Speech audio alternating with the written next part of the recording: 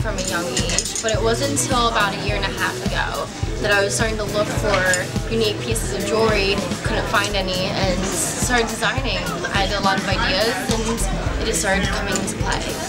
Mostly materials, anything from metal pieces to crystals, raw crystals, that's definitely what Rockica is about, is infusing raw crystals into all of my pieces. Um, nature, spectrum of light, um, the environment.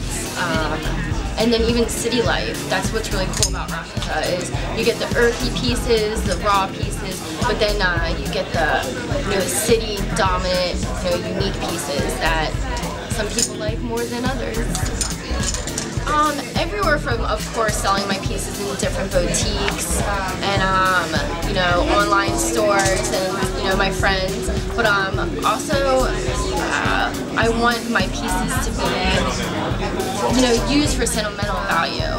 You know, that's one of the reasons I started with accessories, is because I always treasured my accessories. So I want the same with my pieces. I want someone to be able to put on my piece and feel special, and feel like it's expressing themselves.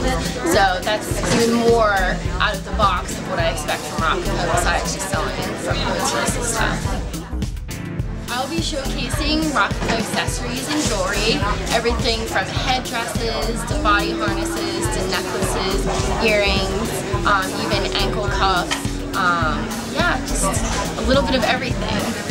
I love Philadelphia and I love the people and uh, the G Lounge is beautiful. So and uh, yeah, and Fred and all the artists have been very approachable and nice and excited like I am. Monika Marie and I'm a Philly Raw artist.